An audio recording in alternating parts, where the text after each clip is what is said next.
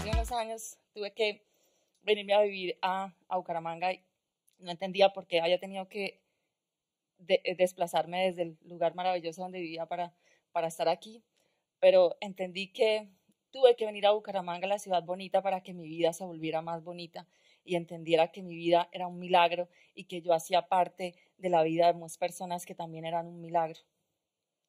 Y entonces conocí a Lucía, una mujer campesina, 35 años, maravillosa, casada, sin hijos, pero con más hijos que una mamá quisiera tener y eran todos los niños del colegio que vivían eh, cerca de su casa, que pasaban todos los días a comer helados de miles, de muchos sabores que ella hacía para que ellos sonrieran todos los días, una mujer completamente feliz. Llegó a vivir a Bucaramanga, se devuelve de su, pueblo porque tenía que ser sometida a una cirugía eh, porque tenía un tumor cerebral.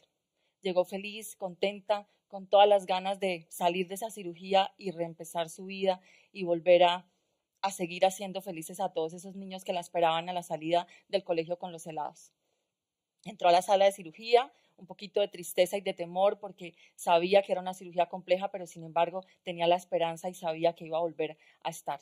Y efectivamente Lucía sale de su cirugía sonriente, llega a su habitación, eh, saluda a su familia, eh, dice que va a volver a empezar y empieza de nuevo su recuperación. Sin embargo, dos días después de su cirugía, Lucía se va ante los ojos de su familia, de su esposo, de sus hijos, de sus hijos amigos que habían llegado, que también eran parte de su vida. Lucía se va y nadie puede hacer nada. Y entonces se pregunta a todo el mundo qué pasó con Lucía, la chica feliz, joven, alentada, que nunca había sufrido de nada, que llegó por una cirugía que aparentemente iba a pasar rápidamente y se ha ido. Nadie lo explica, pero Lucía se va.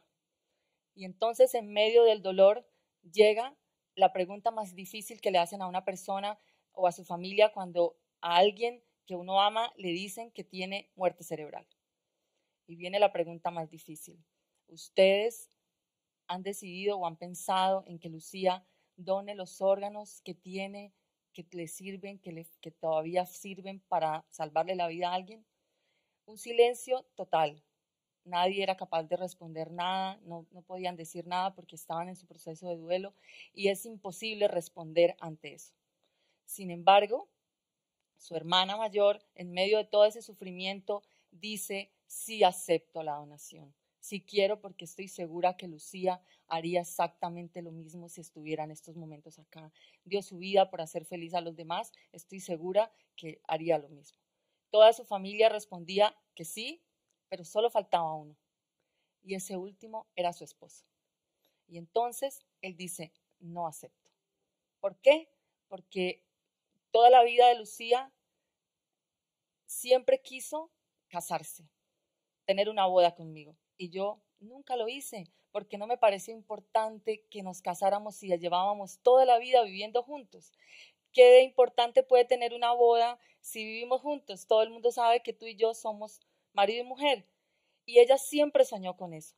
Y él, en ese momento que Lucía se va, devuelve el tiempo y se acuerda todas las veces que Lucía le suplicó y le rogó que se casara con ella. Y como para él no era importante, pensó que para ella tampoco lo sería. Y en ese momento dijo, no soy capaz de tomar la decisión porque si Lucía en vida yo no pude hacerla feliz con una sola decisión, ahora no puedo tener esa responsabilidad. Sin embargo, el médico, teniendo en cuenta que habían pacientes que morían y que necesitaban urgentemente esos órganos que a Lucía le servían, decide insistirle al Señor para que por favor tome la decisión. Y entonces él dice lo siguiente, voy a decir que sí con una condición quiero casarme con Lucía ahora.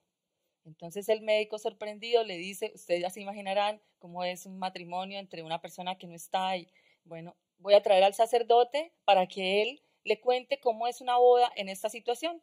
Llega el sacerdote, vienen, oran, oramos todos juntos, yo estaba ahí, y finalmente le dice el sacerdote al Señor, no puedo hacer que la boda suceda, porque para que una boda eh, sea realidad, la persona debe decir sí acepto.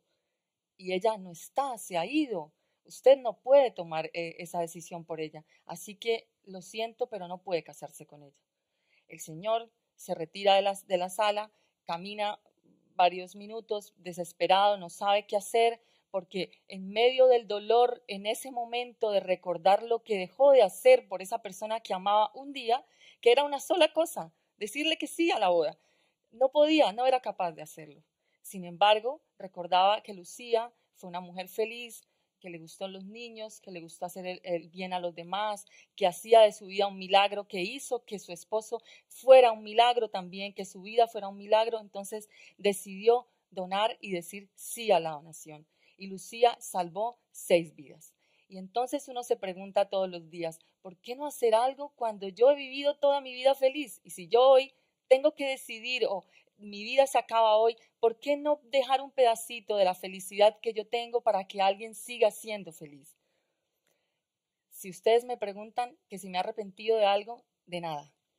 Pero si pudiera devolver el tiempo, me gustaría haber empezado antes a hacer lo que hago ahora, a decirle a la gente que hay que donar, que hay que regalar un poquito de lo que uno tiene bueno para que los demás también puedan eh, vivir y puedan ser felices. Eso haría ahora. Por eso a todos los invito a que se unan a todas esas causas bonitas que la gente hace afuera por los demás, por hacer de la vida de todos un milagro, por hacer que los milagros existan. Porque estos son los niños y las personas que me hacen recordar que sí vale la pena luchar.